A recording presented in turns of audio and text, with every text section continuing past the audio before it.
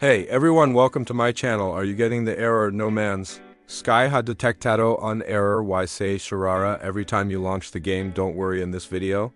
I'll show you the exact steps to fix crashes, DirectX Vulkan errors, GPU issues and make No Man's Sky run smoothly again in 2025. Let's jump in step 1. Update GPU drivers NVIDIA Force Experience AMD Adrenalin drivers Intel Arc Intel drivers Step 2 switch between. Vulkan and DirectX on Steam. Right-click No Man's. Sky Properties Launch Options. Add Force D 3D11 for DirectX.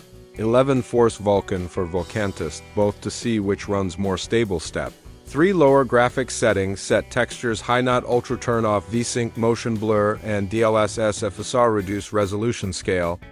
If using older GPUs, step 4 verify repair game files on.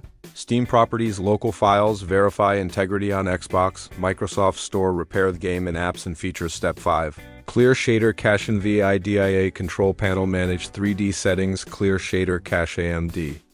Radeon settings, settings, graphics, reset shader cache step 6, disable modzif, you installed community mods, remove them and relaunch step 7, reinstall redistributable intensisis, latest DirectX runtime Visual C++, 2015 to 2022, and NET Framework Step 8 Last Resort Reinstall Game Fully Delete No Man's Sky and reinstall it cleanly. If this video helped, don't forget to like, subscribe, and drop a comment with your setup.